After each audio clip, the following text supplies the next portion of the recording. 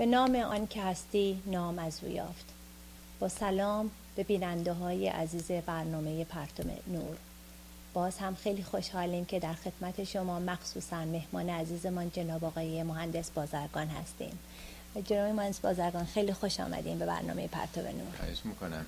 بندم سلام عرض می‌کنم خدمت بینندگان عزیز و ارجمند و امیدوارم که دلخوشی و عاقبت خیری و سعادت و سلامت برای همه باشه. خیلی ممنون. من امروز می‌خوام یه دوید خوبه به بیننده های عزیزمون بدم که برنامه پرتو نور همطور که اطلاع دارین همیشه سعی کرده بود در زمینه های دینی و اعتقادی شما عزیزان بر طبق سوالاتی که مطرح میشه ما از استادان و صاحب نظران دعوت کنیم که تشریف بیارن و به سوالات شما جواب بدن و مسائل اخلاقی و دینی و اعتقادی که مطرح میشه بتونیم تجزیه و تحلیل کنیم و مشکلات و تضادهای فکریمون رو سعی کنیم از بین ببریم. ولی امروز برنامه دیگه ای داریم براتون تهیه دیدیم. چون بیننده عزیزمون سوال کرده بود که چرا ما تو برنامه پرتو نور به مسائل اخلاقی و خانوادگی و به طور کلی روابط بین انسان ها بین در یک خانواده بین پدر و مادر با فرزندان یا زن و شوهر یا روابط افراد با دوستانشون. چرا ما راجع به این مسائل صحبت نمی کنیم؟ و چرا ما فقط سعی می کنیم با تئوری های اعتقادی و دینیمون که شاید در زندگی روزمره ما اینقدر مورد توجه یا عمل قرار نگیره ما بحث می‌کنیم. در حالی که اگر که واقعا این شرایط به وجود بیاد که ما بتونیم مسائل اخلاقیمون رو بیشتر تقویت کنیم شاید واقعا مسائل دینی هم بیشتر انجام دادیم. اینه که اگه اجازه میدین من اولین سوال رو به این صورت که مطرح کنم که به طور کلی اگر که روابط اخلاقی اگه برنامه مثلا یه روابط اخلاقی بین یک خانواده یا به طور کلی بین افراد آیا واقعا یه همچین مسائلی وجود داره که در از نظر قرآنی هم که راجبش صحبت شده باشه و بیاد روابط بین انسان ها رو به طور کلی خانواده تشکیل خانواده زن با شوهر یا پدر مادر با فرزند یا در رابطه با دوستان همسایه چیزی هست که شما برای ما توضیح بدین لطفا. بله خب به نام آفریدگار علی حکیم سوالی که مطرح فرمودند اصولا برمیگرده به اینکه دیدگاه دین مذهب نسبت به مسائل اخلاقی چگونه است؟ بله. آیا یک شریعت یک دین برای یک سلسله باورهای اعتقادی مطرح شده یا یک آموزش های اخلاقی برای تصحیح مناسبات انسان ها هم هست؟ من فکر می‌کنم در مورد اسلام به طور اخص حالا همه البته شریعت ها این چنین هست پایه اصلیش اخلاقه. حالا بگذاریم که بیشتر توجه علمای دین به فقه و اصول و مسائل حقوقی دین معطوف شده. ولی اصولا دین اصل و اساسش تربیت انسان هاست و تصیح روابطی که دارن در چارچوب اونچه که اخلاق نامیده میشه. حتی خود پیامبر اسلام فرمودن که با استل اتم من مکارم الاخلاق اصلا من مبعوث شدم من برانگیخته شدم برای اینکه کرامت های اخلاقی رو ارزش های اخلاقی رو تمام بکنم یعنی به نهایت به کمال برسونم. در واقع پیامبر اسلام هم رسالت خودشون به خودشون رو در چارچوب ارزش های اخلاقی تبیین کردن. در قرآن هم بارها راجع به خود اون پیامبر گفته که فرض کنید مثلا در سوره قلم هست انک لعلی خلق عظیم. تو در یک اخلاق عظیمی قرار داری یعنی شخصیت انسانی تو شخصیت والایی است. خدا هم اهل زیاده روی و قلوب و ستایش اونطوری که ما عادت داریم که نیست. وقتی خداوند میگه اخلاق تو عظیم بود این نشون میده که چقدر مهمه مسئله اخلاقی. یا در جای دیگه میگه فبما رحمت من الله لنت لهم. اون رحمت ویژه خدادادی در شخصیت تو بود که انقدر آدم ملایم و مهربانی شدی با دیگران. ولو کنت فزن غلیظ القلب. اگه یه آدم خشنی بودی بدخویی بودی لنفذو من حولک. از پیرامونت مردم پراکنده می شدن در واقع اونچه که قرآن از شخصیت پیامبر بیان کرده به عنوان یک انسانی که بسیار ملایم بسیار مهربان راحت میشه باش برخورد کرد و یه جاذبه ای داره مثل یه شمعی که دیگران رو مثل پروانه دور خودش جمع می‌کنه. یا در جای دیگه از خود پیامبر هست ظاهرا میفرماد هل دین الا المحبه آیا دین جز محبته و هل المحبت الا دین آیا دین جز محبت؟ محبت جز دینه؟ یعنی در واقع خلاصه میشه در دلسوزی در رحمت در مناسبات شایسته انسانی که همه اینا در چارچوب مسئله اخلاق میگنجه. اما این سالی که مطرح فرمودین که در مناسبات خانوادگی اختلاف بله. زن و شوهر فرزندان غیره. بله تو این زمینه هم خب هستش. واقعا تو قرآنم فکر می‌کنم سوره تقابون بله باید باشه. پیدا کنم. بله مثلا این آیه 14 سوره تقابون هست. میگه ای کسانی که ایمان آورده اید ان من ازواجکم و اولادکم عدو لکم. ممکنه که در روابط بین زن و شوهر یا در مناسبات با فرزندان یک اداوتی یه دشمنی پیش بیاد. یعنی در واقع پیش بینی کرده که در یه خانواده حالا در سطح والدین یا در سطح روابط با فرزندان اختلاف پیش بیاد. اداوت و دشمنی و در واقع بگو مگو و مشاجره و همین چیزهایی که خب بله. هست. میگه فحذروهم. مراقب باشید. مسئله رو کم باها ندید. دست کم نگیرید. جدی بگیرید. بیعتنایی نکنید. و بعد توصیه می‌کنه که چیکار بکنید. چهار مرحله رو میگه. انتعفو مرحله اول عفوه. انتعفو عفو یعنی ندیده گرفتن صرف نظر کردن. انتعفو و تصفهو یه پله بالاتر در واقع صفحه صفحه با ساد و هی جیمی.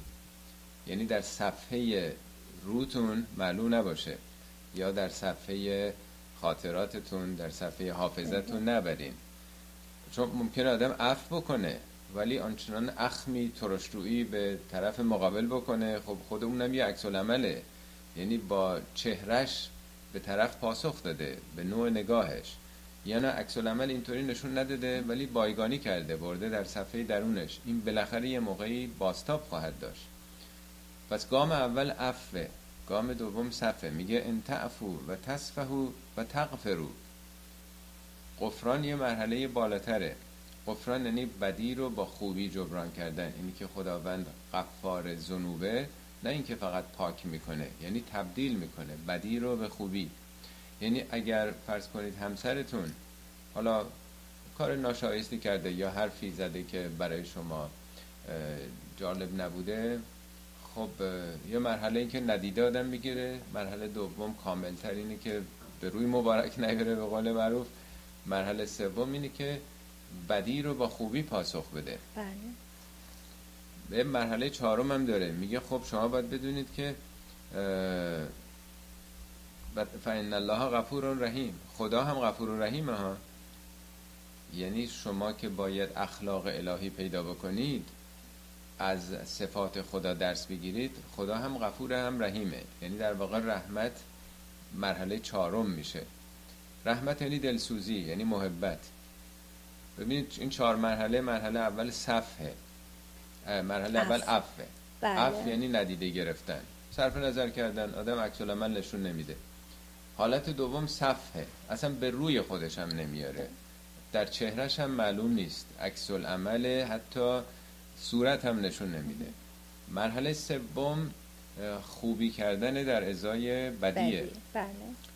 از این کاملتر هم باز هست. خود این مرحله سوم خیلی سخته که کسی با آدم بدی می‌کنه حالا همسر آدمه یا فرزند آدمه. که آدم خوبی بکنه. سعی کنه که طرف مقابل رو با خوبی در واقع عکس العمل نشون بده. ولی یه مرحله چهارم هم هست که خیلی سختره. آدم طرف دوست داشته باشه. چون شما ممکنه به یه کسی که بدی کرده خوبی بکنید ولی به عنوانی که این مسلحته منطقی این چنین هست.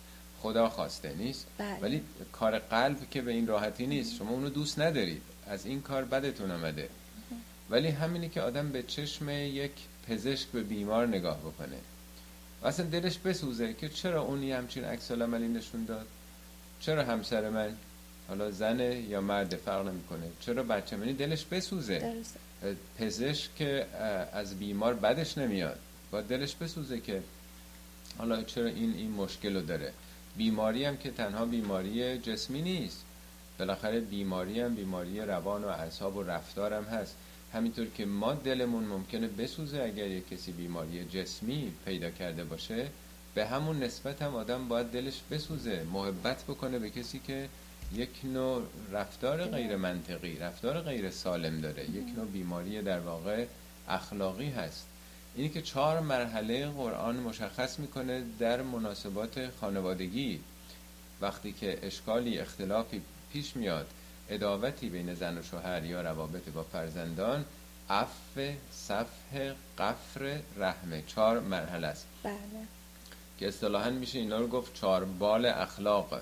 یعنی همطور که با چهار بال میشه پرواز کرد یادم یه سالهای پیش کتابی جورج سارتور نوشته بود چهار بال علم. حالا میشه اسم چهار بال اخلاق هم گذاشت که انسانی که می‌تونه اینطور پرواز بکنه اینا دلالت بر شخصیت ممتاز انسانی می‌کنه که بتونه در مناسبات با نزدیکان خودش دیگه چه کسی از خانواده از همسر و فرزند با آدم نزدیکتره بتونه با عفو و صف و غفر و غفر همون غفرانه و رحم یعنی دلسوزی و رحمت انسان برخورد بکنه. اینا در هر حال پایه های اصلی اخلاقه. البته در جای دیگه هم حالا مسئله اختلافات رو مطرح کردین در جای دیگه هم مثلا میگه که آشروهن بالمعروف با همسرتون معاشرت بکنید. اون شیوهی که عرف منطق جامعه این رو زیبا می‌دونه خوب می‌دونه. البته خب متناسب با جوامع نوع زیبا رفتار کردن فرق می‌کنه. در روستاها رفتار بگونه ای هستش در شهرها بگونه ای در ایران در اروپا در امریکا. یعنی اون چی که جامعه این رفتار رو منطقی و شایسته می‌دونه همون جور رفتار بکنید. یا در جای دیگه میگه که باهاشون رایزنی بکنید یعنی مشورت بکنید. اصل و اساس و بر مشورت و رایزنی و در واقع گذشت و محبت باید گذاشت. وگرنه با عکس های تلافی جویانه هیچ وقت به نتیجه نمیشه رسید. بسیار متشکرم از پاسختون ولی دو تا نکته اینجا به نظرم می‌رسه که اضافه کنم به این سوال.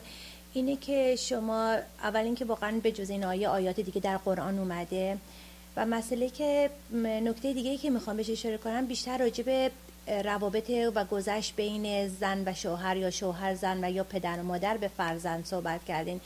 که به نظر من خیلی آسونه که آدم از بچهش بتونه که اگه از بچهش یه ناراحتی بهش نشون داد بتونه گذشت کنه و یا بتونه این چهار مرحله رو خیلی راحت در رابطه با بچهش بتونه رعایت کنه که فرمودین که عفه خوب خیلی راحت آدم می‌تونه رو بچهش عفو بکنه. یا یا مطمئنا راجع به همسرش هم شاید آسون باشه یا مسئله صف که خیلی راحت آدم می‌تونه فراموش کنه که بچهش یا همسرش یه کاری کردن و اونم بتونه راحت فراموش کنه و بازم با عشق و علاقه بازم حالت دلسوزی واسه اونا داشته باشه که خب الان ناراحت بوده همسرم خسته بوده اومده یه پرخاشی کرده و می‌تونه راحت اون نقش از مغز بیاره بیرون و گذشت بکنه. ولی چیزی که توی جامعه ما باش برخورد می‌کنیم و یه کمی سخت هست روابط خارج از کانون خانواده. یک قدم فراتر بذاریم ممکنه با فک و فامیل درجه دوم یه ذره فراتر بذاریم ممکنه با دوستت یه ذره فراتر بذاریم با همسایه. آیا واقعا آیات دیگه در قرآن هست به جز این آیه که شما بهش اشاره فرمودین که این روابط رو بتونه تنظیم کنه و بتونه راه ختمش به آدما نشون بده که چجوری بتونن این گذشت بکنن و چجوری بتونن؟ که با مسائل برخورد کنن. نمی‌دونم متوجه سوال بله بله, بله. بله کاملا. عرض کنم که خب این توصیه رفتار چهار مرحله ای اگه قرار بود که فقط با نزدیکان یعنی با خانواده بود با همسر و فرزند خیلی سخت بود در واقع هنرمندی نبود. خیلی ارزش نداشت. مهمتر اینه که آدم با حلقه های خارج در از اونم این رفتار رو داشته باشه. اتفاقا هست. هم دو بار در قرآن راجب اهل کتاب اهل کتاب یعنی یهود و مسیحی ها و اینها گفته اختلافات و بحثا و مشاجراتی که با اونا هست. هر دوی اونجا میگه که انتعفو و تصفهو یعنی حتی یه جا میگه لا تزالو تتلو علا خائنت منهم. ممکنه دائما خیانتی مثلا مطلع بشی ولی میگه انتعفو و تصفهو اگر عفو بکنید یعنی ندیده بگیرید اصلا برو خودتون بله. نیارید. یه وقت هست که خب تجاوز نظامی خب چاره جز دفاع نیست. ولی مادامی که در حد حسد و رقابت ها و تعصبات و اختلافات دینی هست اونجا این دو مرحله رو میگه. ان تعفو و تصفهو اون مرحله عفو و صفح رو میگه. میگه اونجا هم باز میگه که به حال خدا رو باید بدونید که خداوندم صاحب این صفات هست. اونجا این دو مرحله رو میگه. یعنی انتظار دیگه اون نست نیست که آدم با مخالف خودش دیگه دوستش هم داشته باشه. بله. ولی میگه عکس العمل نشون ندید. عفو بکنید و به روی خودتون نیارید. حتی یه جایی در مورد در درون جامعه اون داستان مثلا افک آیش هست. می‌دونید به پیامبر مخالفینش خب نمی‌تونستن ایراد بگیرن یه اتهام ناموسی به خانواده او زدن. آیشه رو متهم کردن که او روابط نامشروعی با کسی پیدا کرده. خب شما در نظر بگیرید توی یه جامعه ای به خصوص یه جامعه دینی که یه مردمی به خانواده پیامبرش یک همچین اتهامات بسیار سنگین ناموسی بزنن. قاعدتا خیلی باید تعصب برانگیز باشه. بله. یعنی قاعدتا مؤمنین خواسته باشن که اگه دستشون برسه پدر این کسانی رو که این شایعات رو دامن می‌زنن در بیارن. ولی خیلی جالب عکس العمل قرآن تو سوره نور هستش.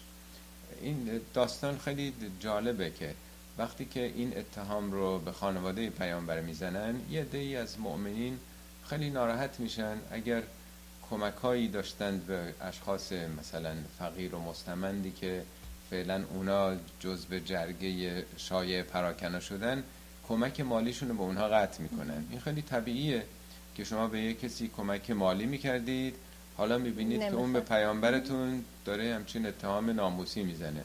قرآن اینا رو توبیخ کرده. تو سوره نور هست میگه ولا یعتل اول الفضل منکم وسعه اونایی که صاحب امکانات هستن به حال دارن پولی دارن امکاناتی دارن دستشون به دهنشون می‌رسه به قول معروف. چرا قطع کردن؟ نباید کمک های مالیتون رو شما قطع بکنید. شما باید عفو بکنید. باید صف بکنید. الا تحبون ان یغفر الله لکم. میگه شما خودتون دوست ندارید که خدا شما رو ببخشه؟ یعنی حتی وقتی که علیه پیامبر خدا هم اتهام ناموسی زدن به خانواده او به مؤمنین می‌خواد بگه که خب اگر شما به یه دی کمک می‌کردید و اینها نیاز مالی داشتن چه ربطی به عقاید اونها داره؟ به رفتار دینیشون داره. اون کمک نیاز داشته آدم فقیری بوده تو هم کمک می‌کردی. بله. تو که جای خدا ننشستی که به خاطر نوع دینداری اونها بخوای بهشون مزد بدی. به قول یکی از عرفای ما میگه که هر کس در این خانه آید نانش دهید و از ایمانش نپرسید. آن کسی که میگه خدا به جان او رو شایسته دانسته چرا من به نان شایسته ندانم؟ در واقع معروفه. بله. در واقع مهم اینه که نباید قاطی کرد که اگر آدم حالا به کسی کمک مالی می‌کنه انتظارش این باشه که اون حتما آدم نمازخونی باشه روزگیری باشه چجوری باشه. نه میگه این دوتا حسابش جداست. یعنی صریحا انتقاد کرده در سوره نور از مؤمنینی که کمک های مالیشون رو قطع کردند نسبت به کسانی که حالا در صف مخالفین قرار گرفتن. میگه نه اصلا این حساب این دوتا جداست. شما دوست ندارید خود شما رو ببخشه؟ شما با همین زاویه با اونها برخورد بکنید. عفو بکنید صف بکنید. شما هم نیازمند بخشش خدا هستید. یعنی منظوری که این دوتا رو قاطی نکنید. به حال سوال به جایی بود که تنها این مسئله در رابطه خانوادگی با همسر و فرزند نیست. خب این طبیعیه که اون الغاهایی که آدم داره راحت تره که آدم گذشت بکنه. مهم اینه که با دگراندیشان به خصوص با کسانی که در موضع مخالف قرار گرفتن اگه شخصیت یک کسی شخصیت خدایی شده اخلاق خدایی گرفته این به طور طبیعی این بازتاب رو باید داشته باشه. دیگه نباید دسته بندی بکنه با اینا اینجورن با اونا اینجور. اصلا ذاتش اینطوری میشه.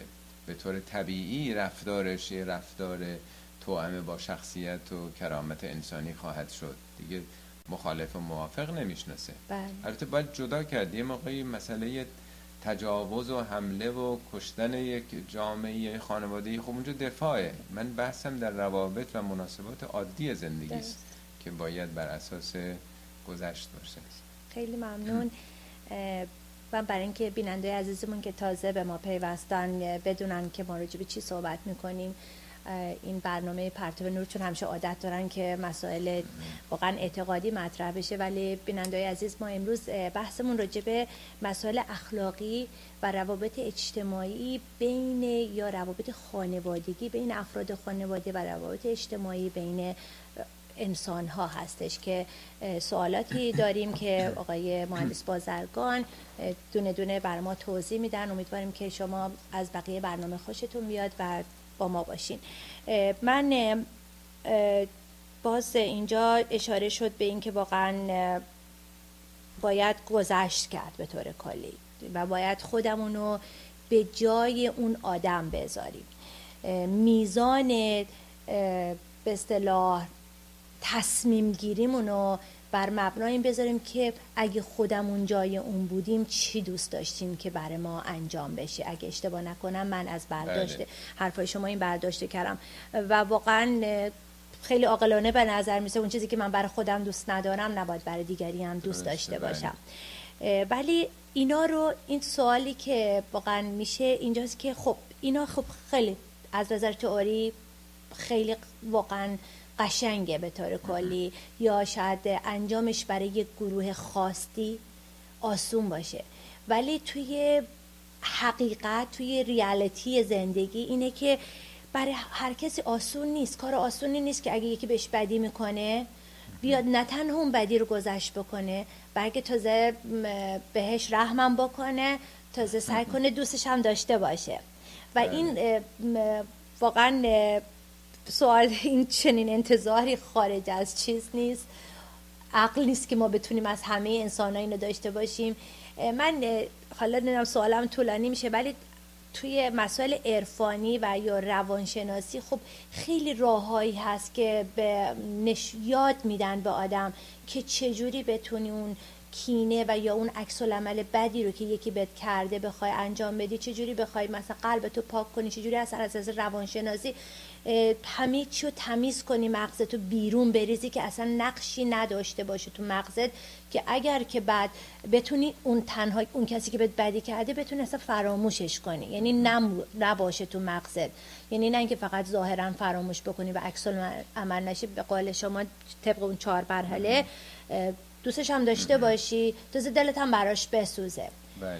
ولی آیا از نظر واقعا دینی یه همچین چیز امکانش یعنی توضیح بیشتری هست که شما لطف کنین بدین که چجوری می‌تونه هر کسی این این کار رو بتونه بکنه؟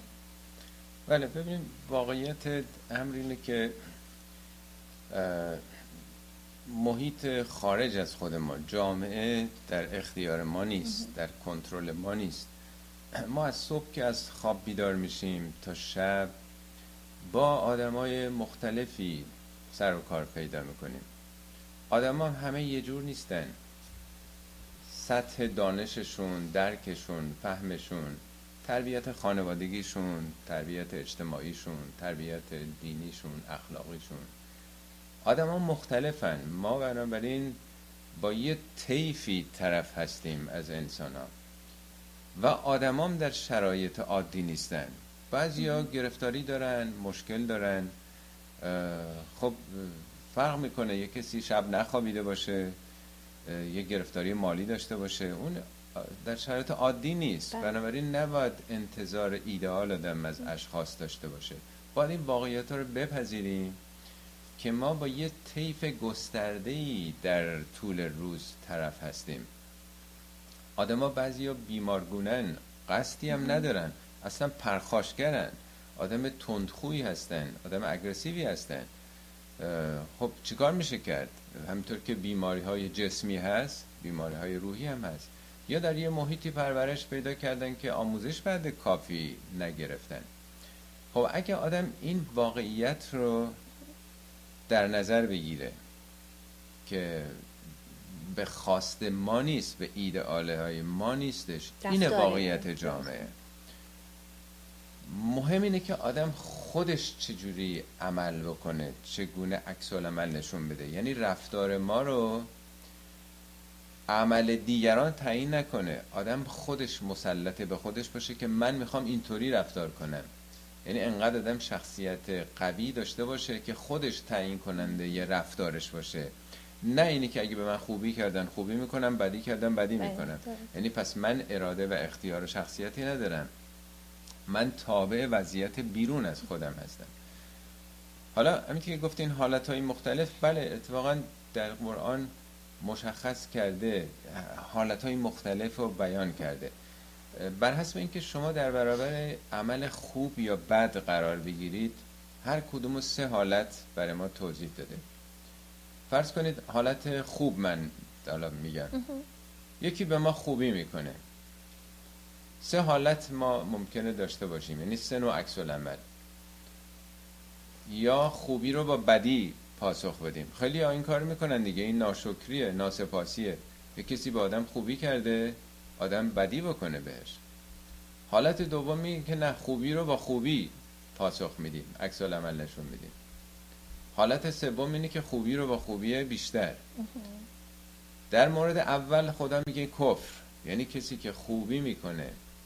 آدم خوبیش رو با بدی پاسخ میده این عنوان کفر روشه. کفر ضد شکره. بله. چون وقتی کسی به آدم خوبی می‌کنه آدم باید خوبی کنه دیگه تشکره. حالا چرا اونایی که نسبت به خدا ناسپاسی می‌کنن عنوان کافر روشون گذاشته شده؟ برای اینکه تو هر چی داری خدا داده. تمام هستی تو چشم و گوش و پدر و مادر و عقل و فهم و درک و چیزی نیست که او نداده باشه. یعنی آیا میشه چیزی رو تصور کرد که بجز آفریدگار کسی دیگه به ما داده باشه؟ مستقیم یا غیر مستقیم همه رو از او گرفتیم. آدم اگه اینا رو ندیده بگیره اصلا هیچ حسابی براش تو زندگی باز نکنه. این میشه کفر یعنی ضد شکر. این دو تا واژه مقابل همه. این یه حالته. که اوجش میشه نسبت به خالق که بیش از همه به ما خوبی کرده و ما ناسپاسی می‌کنیم میشه گفت. حالت دوم اینه که خوبی رو با خوبی پاسخ میدیم. اینم خیلی هنری نیست. احتیاجی به دینداری نداره احتیاجی به آموزش نداره. انسانی که سالم باشه مریض نباشه از نظر اخلاق و رفتار به طور طبیعی حالا تو قبایل بیخبر افریقان باشه هر جای دنیا باشه آدم ها هزار سال پیش هم آدم وقتی به کسی خوبی می‌کنه خب خوبیه دیگه نتیجهش. تعبیر قرآن میگه هل جزاء الاحسان الا الاحسان. مگه جز احسان جزای احسان می‌تونه باشه؟ البته خوبه که ما خوبی دیگران رو با خوبی جبران بکنیم ولی خیلی امتیاز نیست. این یک نوع پایا پایه یک نوع بله. معامله پایا پایه. خب ما به قوم خیشامون نزدیکانمون دوستانمون اونا به ما دوستی کردن با اونام دوستی می‌کنیم.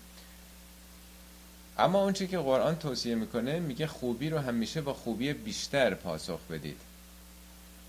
میگه ازا هاییتون به تهیتن اگه یه کسی به شما یه تهیتی سلامی تعارفی کرد فهیو به احسن منها.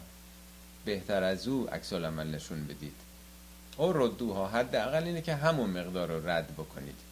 البته این هم می‌تونه در صحبت و بیان و مکالمه باشه. اگه یکی از در خونه وارد شده سلام کرد شما به طور خیلی خشک جدی نگی سلام. سلام حالتون چطوره؟ خوش آمدین به به مدتی ندیدم. یعنی یه مقداری بیشترش کنید شرب و نرمترش بکنید در واقع. حالا اگر فرض کنید یه کسی برای شما یه کاری کرده خدمتی کرده میگه حداقل همون مقدار. اگه دو ساعت براتون وقت گذاشته شما هم دو ساعت براش وقت بذار. بله. ولی سعی کنید که برتری رو نشون بدین. بیشتر. میگه ولا تنسب الفضل بینکم فضیلت رو یادتون نره. یعنی اگه او انقدر شخصیت به خرج داده و هنری که دو ساعت وقت گذاشته شما سعی کنید سه ساعت بذارید. رقابت در خوبی ها باشه. پس در باره, باره خوبی سه حالت هستش. درست. خوبی بدی آدم عکس العمل نشون میده خوبی. با خوبی. با خوبی خوبی با خوبی بیشتر. درست. حالا سه حالت هم برای بدی. کسی به ما بدی کرده. حالت اول اینه که بدی رو با بدی بیشتر. یعنی یه کسی یه حرف تندی زده به آدم آدم میگه خودتی پدرت فلان فلان شده. یه حرف ساده ای زده آدم عصبانی میشه عکس العمل خیلی تند نشون میده. یا اعتنایی با آدم نکرده آدم سعی می‌کنه که حسابی ادبش بکنه. معمولا اغلب مردم اینطوری هستن. معتقدن که بدی رو باید با بدی بیشتر. طرف باید سر جاش نشوند. باید روش رو کم کرد. یه حرف کاملا دیدین حالا تو مملکت خودمون بیشتر این مناسبات تو رانندگی این بر اون برادر می‌بینه که چطور عکس العملات تشدید میشه. بله. این اعتقاد هستش که میگن این پر رو شده باید روش رو کم کرد نوکش رو باید قیچی کرد. این یه شیوه است که همیشه آدم اگه به خودش مسلط نباشه می‌خواد طرف ادب بکنه. طرف رو سر جاش بنشونه که دیگه از این غلطا نکنه جرأت نکنه. این یه شیوه برخورده که به شدت مذمت شده در دین. حالت دوم اینه که بدی رو معادل اون آدم پاسخ بده. این یه حالته. قرآن گفته که تا اینجا شما مجاز هستید ولی نکنید بهتره. میگه جزا و سیعتن سیعتون مثلها. جزای هر بدی بدی همون مقداره. یا ان عاقبتم اگر عقوبتی شدید فعاقبوا به مثل ما همون مقدار. نمی‌خواد بگه حتما این کار بکنید. میگه مبادا بیشتر از اون بکنید. یعنی حالت دوم اومده برای تعدیل اون حالت اول. که یکی رو چهار تا نذارید روش جوابشو بدید. اجازه دارید همون مقدار رو بگید. همه جا هم در واقع گفته این کارو نکنید بهتره. درسته میگه جزا و سیعتن سیعتون مثلها. بعد میگه فمن عفا و اصلها فاجره الله. هر کسی که عفو بکنه و آشتی بکنه اجرش با خداست. یعنی در واقع اجازه میده که ما عکس العمل به اندازه نشون بدیم. چرا؟ برای اینکه این دو جهت داره. یکی اینکه آدما اینقدر قدرت عفو و گذشت ندارن. خدا اگه می‌گفت نه هیچ کسی حق نداره. صد درصد بدی رو با خوبی اصلا دوچار عقده می‌شدن یه و بعدم دشمنان می‌گفتن خب اینا که عکس العمل نشون نمیدن ما هر چی هم تو سرشون بزنیم بدی بکنیم اینا گذشت. می‌کنن اشکال نداره. اونام بدونن که این طرف هم راش بازه. می‌تونن مجازن عکس العمل نشون بدن. ولی تا اونجا که من یادم میاد هر جا که گفته مقابله به مثل می‌تونید بکنید. رو اون اندازه رو اون مقدار. نه بیشتر. دنبالش هم گفته که بهتره نکنید. بهتره که نکنید این کارو. یعنی اگر شخصیت دارید ایمان دارید نکنید اما مرحله بالاتر مرحله اینه که بدی رو با خوبی جبران بکنیم پس شد سه مرحله بدی با بدی بیشتر بدی با اندازه. خودش بدی با خوبی در یه جایی سوره فصلت ظاهرا میگه که بله میگه که خوبی و بدی با هم یکسان نیست. اینو یادتون باشه که بدی و خوبی لا تستوی الحسنت و السیئه یادتون باشه این دوتا مساوی نیست. ادفع بالتی هی احسن.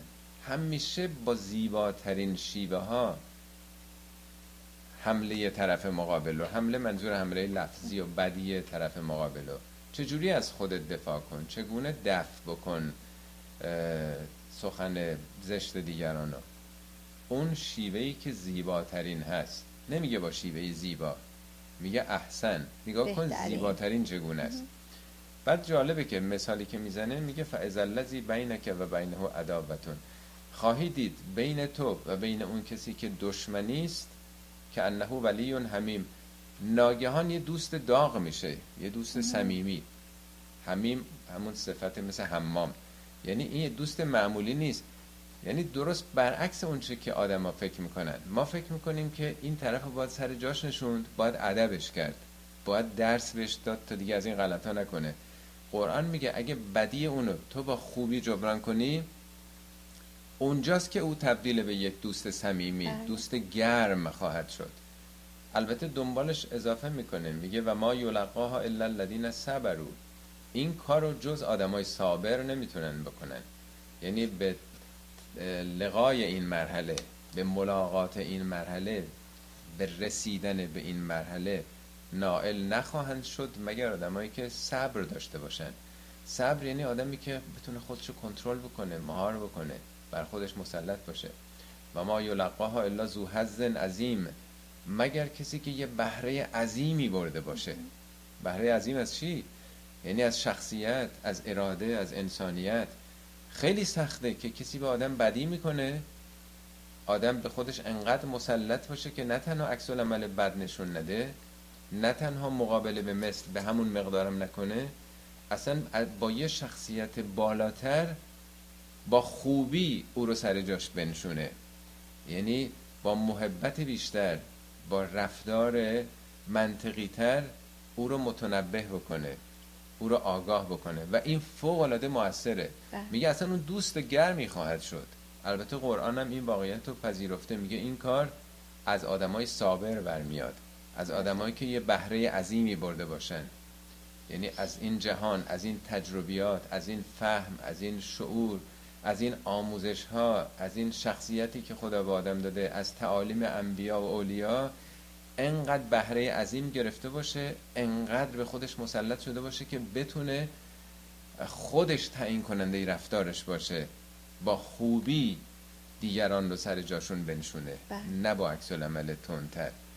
بنابراین پس شد دو مرحله ما در برابر بدی قرار داریم. یا خوبی هر کدومم سه نوع عکس العمله و در بخش های مختلف قرآن اینا رو جابجا جا همه رو توضیح داده که چی کار میشه کرد؟ بر حسب اینکه تو این طیف ما کجا قرار گرفتیم. بله همطور که فرمودین بعضی از مراحلش خب خیلی آسونتر و اکثر مردممون همون کارو می‌کنن. درسته. خیلی راحت برای خودشون هم جاستیفای می‌کنن که خب فلانی به من بد کرده منم بهش بدی می‌کنم. کار زشتی نکردم.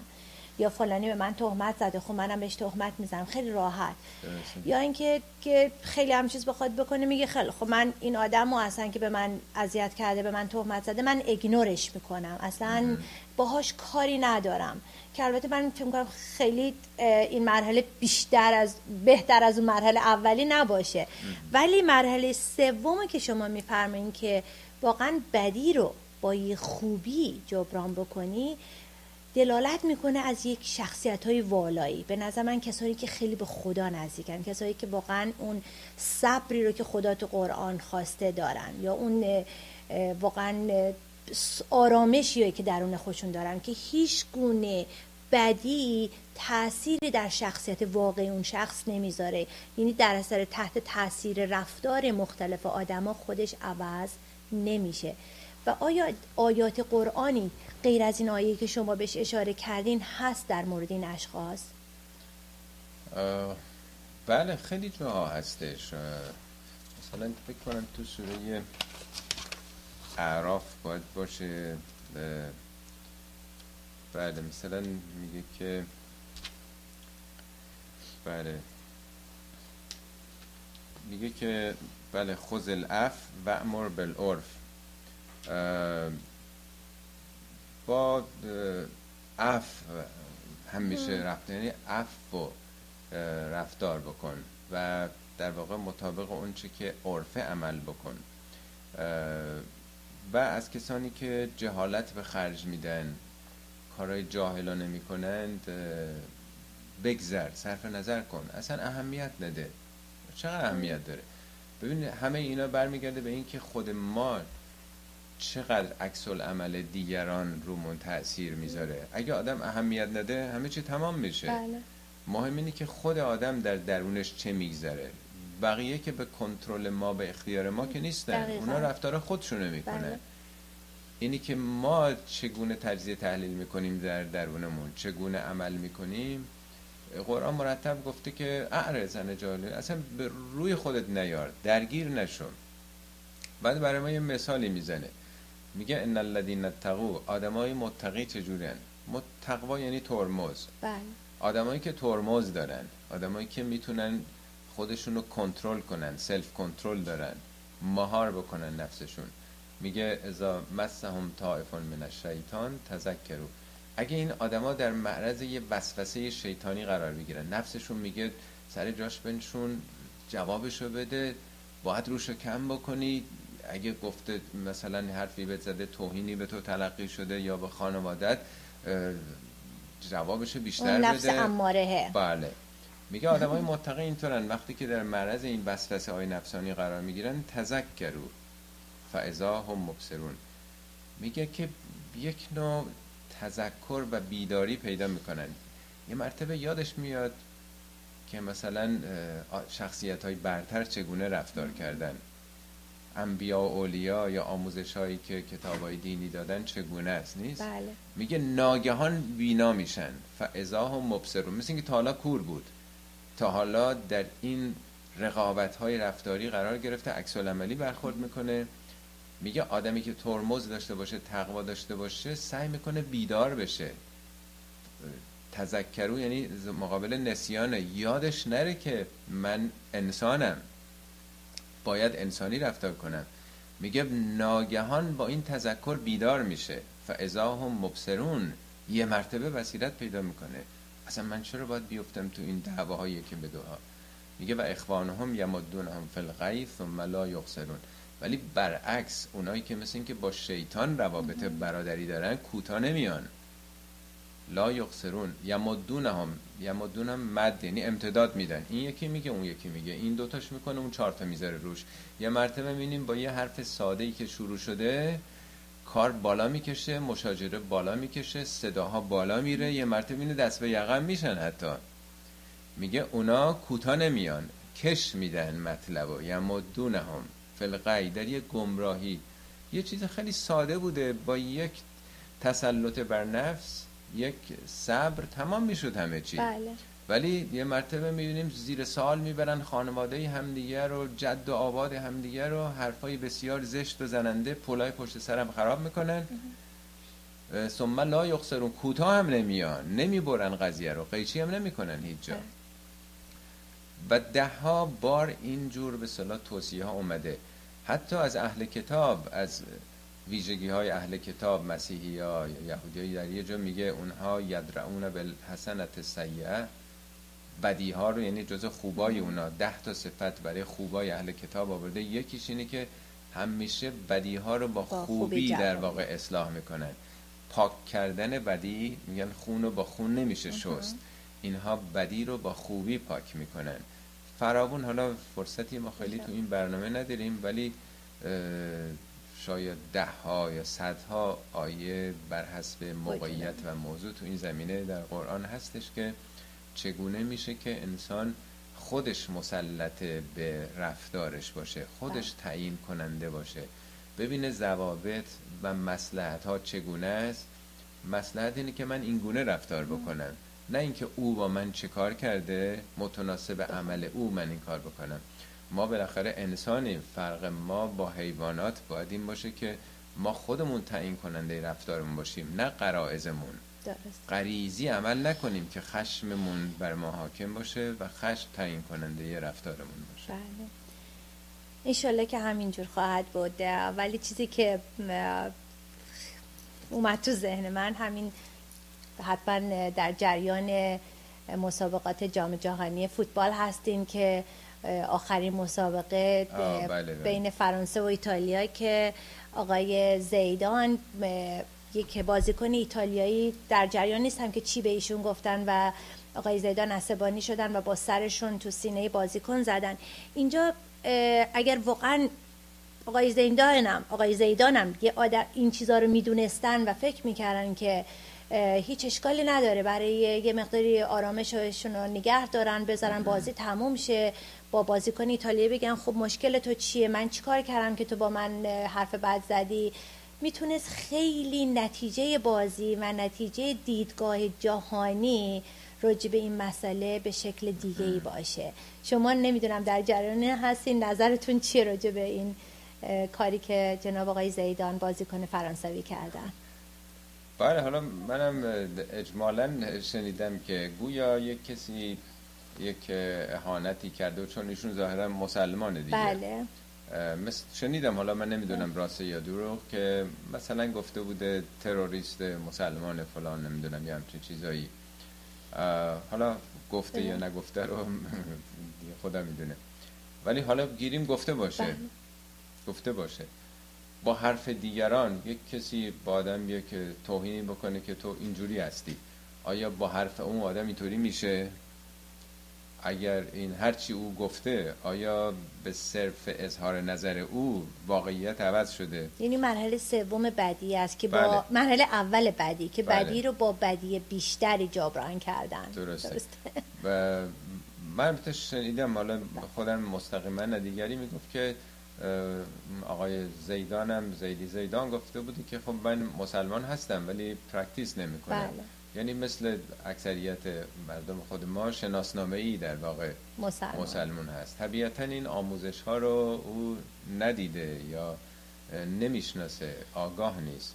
اگه قرار بشه یک کسی با آدم یه حرفی می‌زنه کلام طرف رو آدم با ضربه سر یعنی عملا با مشت با چیز عکس العمل نشون بده اون بدی رو با بدی بیشتر. بیشتر جبران کردنه. حتی درستم نبوده که همون مقدارم او بگه که خودتی مثلا. بله. پدرت فلانه. خب حداقل مردم این رو چیز می‌کنن. منطقی تر اینه که اصلا اهمیت نده. در قرآن هستش میگه که اذا مر رو به لغوه مر رو کرامن انسان یه شخصیتی که تسلیم به نظامات خدا باشه وقتی از پلوی یک مسئله لغوی یعنی یه حرف لغو اه، مزخرفی یه کسی می‌زنه میگه اینا با کرامت میگذرن. کرامت یعنی با شخصیت. مثلا حتی نگاه چپ هم به طرف نمی‌کنه. یا میگه اذا خاطبهم الجاهلون قالو سلامن اگه یه آدمی جهالتی به خرج داد یه حرف مزخرفی زد میگه او پاسخش پاسخ سلامته. پاسخ سلامته. می‌تونه بگه امیدوارم تو سل... سلامتی و سلام بر تو. درود بر تو. امیدوارم حالت خوب حالت بشه خوب باشه. بله. یعنی منظور این که نه که کلام سلام بله. بگه میگه برخوردش برخورد توأمه با سلامته. البته خب از اونا نمیشه انتظار داشت که برای خود اونم گفته که عمل نمی‌کنه به اون آینی که شناسنامهش اون چنین هست. ولی خب اینجا هست که آدم خودش رو نشون میده. البته خب می‌دونی تو مسابقات فوتبال و تو اون رقابت ها و توی این مشکلاتی که وجود داره خب آدم تو این فیلم می‌بینه جوانای اینقدر نیرومند. وقتی که یه تیمی شکست می‌خوره آدم فکر می‌کنه اینا مثل کوه استوار باید باشن ولی میشینن گریه می‌کنن. حالا اون عده که یه گل می‌زنن مثل اینکه دنیا رو بهشون دادن دیگه هیچ چیزی شاید ذوقی زیبایی هیچ چیزی اگر بهشون کادو هم می‌خواستن بدن از اون بهتر نبود و می‌بینیم برعکس اونایی که به خصوص تو مسابقات نهایی آدم تعجب می‌کنه که مردهای نیرومند با این قدرت که وقتی زمین می‌خورن آدم فکر کنه یه آدم معمولی اونطوری زمین بخوره تمام عمرش دیگه بله. بلند نمیشه فلج میشه چطور در برابر این که حالا یه توپی وارد دروازه شد یا نشد یه مرتبه دنیا مثل اینکه تیرو تار. میشه اون چی که مهمه قدرت در واقع کنترل. شخصی آدمه. این قدرت فیزیکی البته خوبه ورزشکار بودن این رقابت ها اینا همه خوبه به جای خودش یک تنوع و تفننی است برای بشر.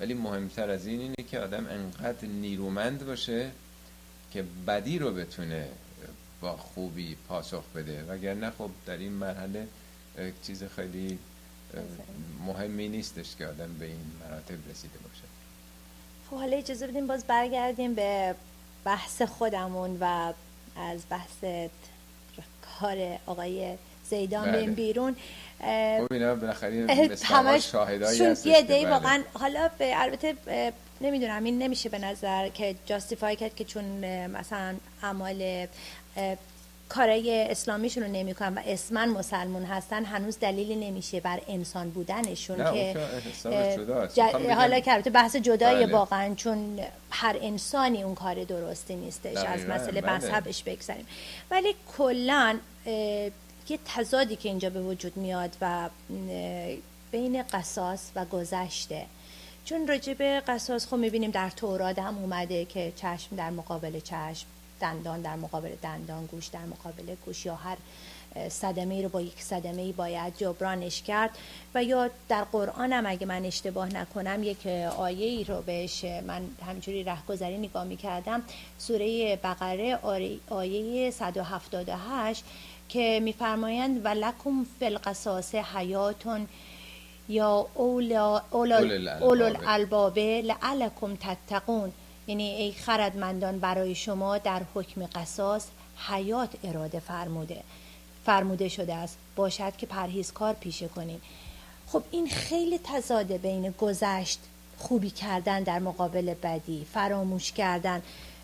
داره جنبه حیات. میگه ولکم فی القصاص حیاتون. بله. یعنی قصاص برای شما حیات میاره. اینجا نظر شما چه چجوری اینو ما می‌تونیم توجیه بدیم؟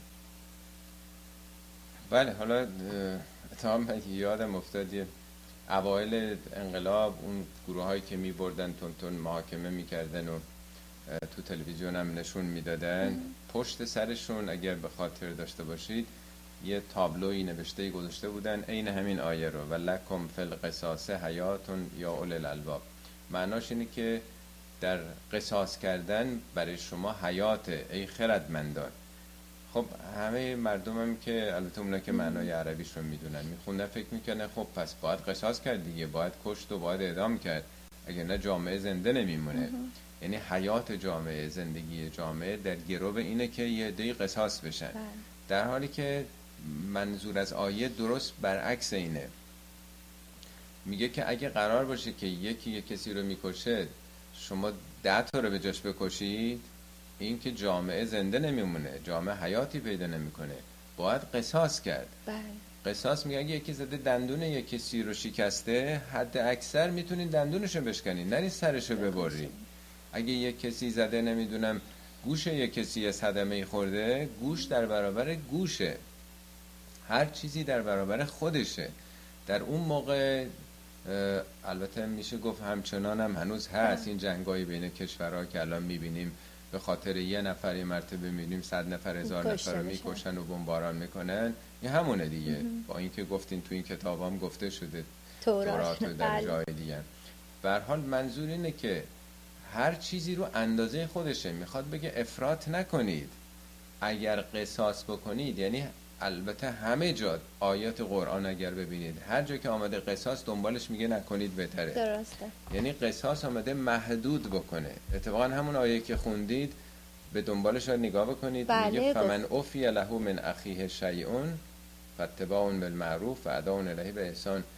میگه در واقع خانه قاتل و مقتول میگه برادر هم دیگه هستید میگه حالا اگر برادرت تو رو بخشید فمن اوفی له من اخیه شیعون یعنی در واقع صاحب خون حالا پدر اون طرفه میگه برادرت تو رو بخشید. یعنی می‌خواد وقتی هم که قتلی اتفاق میفته میگه شما یه خانواده اید میگه حالا اگه برادرت تو هم بخشید تو هم برو پول خون اونو که چیز کردی بده در واقع.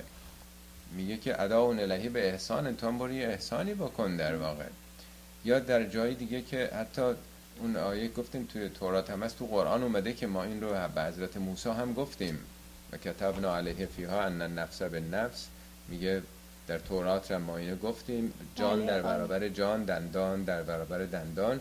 تو اون آیه هم باز میگه فمن تصدقه فهو وقت کفارتون لهو اگه کسی قصاص نکنه این باعث پوشانده شدن و پاک شدن گناهانش میشه. خب اگه قرار بود که ما حتما قصاص بکنیم در قصاص حیات بود که می‌گفت اگه نکنید حیات جامعه از بین میره. بنابراین اونجایی هم که آمده میگه قصاص بکنید قرآن دنبالش گفته نکنید. اجازه میدین فارسیشو بخونم. این آیه 45 از سوره ماعده. بله. چون خیلی آیه قشنگ میگه در تو و در تورات برای آنها احکام قصاص را چنین صادر فرمودیم. جان در برابر جان چشم در برابر چشم. بینی در برابر بینی گوش در برابر گوش دندان در برابر دندان. و زخم ها نیست به همان ترتیب قصاص دادن. و هر کس اف را جایگزین قصاص کند همین بله دیگه. و اینجا خیلی آن بخشش کفاره گناهان او محسوب بله. خواهد شد. یعنی که خداوند ناظر فن بین مردم حکم نکنید و یعنی. در واقع گفته که قصاص هم نکنید. ولی اجازه داده. ببین هدف اینه. میگه یکی رو ده برابر صد برابر نکنید این کارو. ببینید مثلا وصایای حضرت علی رو حتما خوندین یا شنیدین. حضرت علی در حالی که ضربت خورده بودن میگن که مبادا به جون مردم بیافتید بگین قتل امیرالمؤمنین قتل امیرالمؤمنین. رهبر کشته شد رهبر کشته شد. الا لا یقتل النبی الا قاتلی. جز قاتل منو حق ندارید بکشید. اونم یه ضربه زده فقط یک ضربه می‌تونید بهش بزنید. میگه اگه خودم باشم اون رو عفو می‌کنم ولی خب وقتی یه کسی از دنیا رفته دیگه قصاص با خانواده و دیگرانه. بله. میگه که شما دوست ندارید خدا شما رو ببخشه. فعفو الا تحبون ان یغفر الله. شما هم عفو بکنید. دوست ندارید خدا شما رو ببخشه. چرا این توصیه رو کرده؟ در حالی که ما میگیم که نه مگه شوخیه حضرت علی رهبر جامعه رو زده کشته؟ مگه میشه اینا یه جریانن یه گروهن باید همشون رو پدرشون در آورد؟ ولی قرآن میگه نه یه نفر رو کشته می‌تونید یک نفر. رو که اونم اگر گذشت گذشت کنید بکنید بهتره. دیگه این وصایای حضرت علی هم که همه آقایون خوندن و این هم, هم تو هر منبر و جایی گفتن خود حضرت بله. علی هم گفته جز قاتل من حق ندارید اونم یک ضربه. اونم نکنید بهتره. بالاخره اونا این تعالیم قرآن رو با تمام وجود فهمیده بودن که این. توصیه ها رو به ما کردن. مهم اینه که فرق نمی‌کنه اون شخص رهبر مملکته یا یک شخص روستایی مثلا کم اهمیت توی مملکته. انسان انسانه فرق نمی‌کنه. قصاص که به مقامات اجتماعی ارتباطی نمی- نداره. بله. بسیار خوب سوال بعدی رو می‌خوام اینطوری فکر چیزی بدین سوال اینطوری مطرحش کنم که حالا چنین شخصی وجود داره بله. که خیلی تسلط کامل به نفسش داره کنترل داره مثل آدمای متقی و اگه یکی بهش بدی کرد بد با بدی جواب نمیده و سعی می‌کنه گذشت کنه. آیا صفت خاصی در قرآن برای همچین شخصیتی وجود داره یا نه؟ ببینید همون آیه‌ای که قبلا خوندیم قرآن میگه که بدی رو با خوبی جبران کنید میگه که ولا ما یلقاها الا الذین صبروا. آدمای صابر اونجا صفت صبر رو گفته. بله. یعنی صبر یعنی مقاومت آدم در واقع تحمل داشته باشه. ولی جامعه در واقع این صفات رو با کلمه حلم تو قرآن آورده. آدم حلیم کسی است که غریزه ای عمل نمی‌کنه. به احساسات و در واقع عواطفش مسلط هستش. حلم معنای بلوغ هم داره؟ بله. ببینید در روانشناسی میگن شخصیت بالغ شخصیت کودک. این تقسیم بندی حالا فرصتی نیست که ما بهش برسیم. شخصیت بالغ تو قرآن سن بلوغ رو هم میگه حلم. اذا بلغ الحلم منکم سن حلم سن حلم. یعنی آدم وقتی بالغ میشه سن بلوغ رو میگن سن, سن حلم. آدما هم تنها از نظر جسمی سنی بالغ نمیشن. یه شخصی ممکنه 50 سالش هم باشه. از نظر جسمی سنی 50 سالشه ولی هنوز تو پنج سالگیه. شخصیت انسان هم باید به بلوغ برسه. وقتی که به بلوغ می‌رسه میگن حالا این آدم آدم حلیمی هست حلم پیدا کرده. بنابراین حلم میشه اون صفت تسلط به نفس. حالا مثل که وقتمونم بله، هم کردن دیگه از این زمینه میشه بعدا بیشتر بله بکنیم. من امیدوارم که واقعا بیننده عزیزمون از بحث امروزمون خوششون اومده باشه. خواهش می‌کنم نظراتون رو به ما بدین ما رو در جریان بذارین که دوست داریم بازم از این برنامه ها براتون بذاریم یا نه. و فکر می‌کنم برنامه تموم شده. وقت ما من مجبورم که از با جناب مهندس بازرگان از دوستان خدافزی کنم. ولی براتون آرزو می‌کنم که هر روزتون خیلی شاد باشین خیلی گذشت داشته باشین خیلی سعی کنین مهربون باشین فراموش کنین بدی ها رو با خوبی جواب بدین این درس رو ما باید یاد بگیریم و عملا تو رفتارمون. مردم رو بی تفاوت نباشین اگه می‌بینین ناراحته برین سراغش ازش بپرسین چی ناراحتش می‌کنه. سعی کنین باهاشون درد دل کنین. خلاصه اینکه روزای خیلی خوبی داشته باشین. بهتر از روزای خوب قبلیتون. امیدواریم که همیشه سالم و خوش باشین. از شما خیلی ممنون برای همه آیاتی که در آورده بودین و واقعا من که استفاده کردم امیدوارم که همه بیننده عزیزم استفاده منم از حلم و حوصله یا صحبت حلم شد حلم و حوصله بینندگان تشکر می‌کنم و از خدا می‌خوایم که به همه ما این شخصیت و این تسلط بر نفس این توانایی رو بده که خودمون تعیین کننده رفتارمون باشیم. نه عکس عملی انجام بدیم. با شناختی که پیدا کردیم اعمال خودمون رو طراحی بکنیم و تو زندگی مطابق شناختمون عمل بکنیم. مطابق شعورمون نه مطابق احساسات و قرائزمون شاد و خورم باشید. خدا حافظ امین